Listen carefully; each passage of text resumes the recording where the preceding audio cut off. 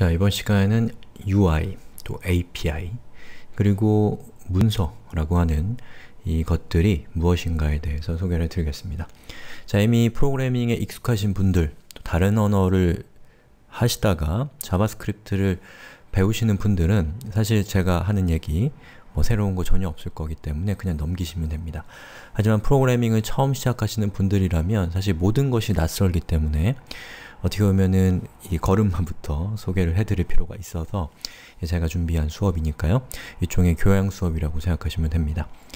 자 우선 이 수업에서 음, API라는 것과 또 UI라고 하는 것이 어떠한 차이가 있는가 제가 앞선 수업에서도 몇 번 간단하게 언급한 것 같은데 제가 생각하는 API와 UI의 차이점에 대해서 소개하고 있는 이 뭐죠?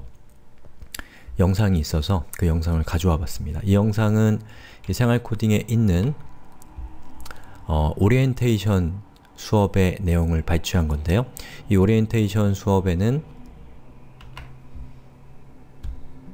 자, 이 내용뿐만 아니라 어, 프로그래밍을 처음 시작하시는 분들이 이 겪고 있는 어떤 고민들 또는 불안감들 예, 이러한 것들을 해소해 드리기 위해서 제가 준비한 저의 사견을 듬뿍 담은 유일한 예, 생활 코딩에 있는 내용 대부분은 저의 사견이 배제, 배제되어 있는데 어, 사, 사견을 담은 예, 유일한 article들을 이렇게 모아놨으니까요. 여기 있는 것들을 나중에 한번 보셔도 될 것 같습니다.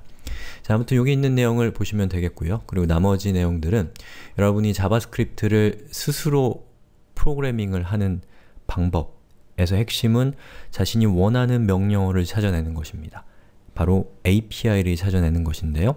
API가 무엇인가에 대한 영상을 보신 후에 그 다음에 나오는 영상에서 제가 API를 여러분들이 찾는 방법, 요령, 요런 것들에 대해서 간단하게 소개를 해드리겠습니다.